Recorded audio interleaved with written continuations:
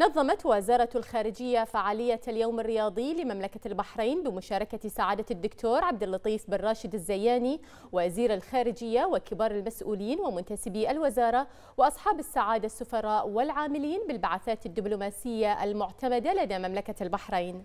وأكد سعادة الوزير الزياني حرص واهتمام مملكة البحرين بالمجال الرياضي ودعمها لممارسة مختلف أنواع الرياضات لما لها من أثر إيجابي في المحافظة على صحة الإنسان ونشاطه. هذا وقد نظمت وزارة الخارجية برنامجا رياضيا اشتمل على إجراء الفحوصات الطبية بالإضافة إلى ممارسة رياضة المشي. كما نظمت بعثات وقنصليات البحرين في الخارج برنامجا رياضيا بهذه المناسبة حيث تمت ممارسة مختلف الأنشطة الرياضية.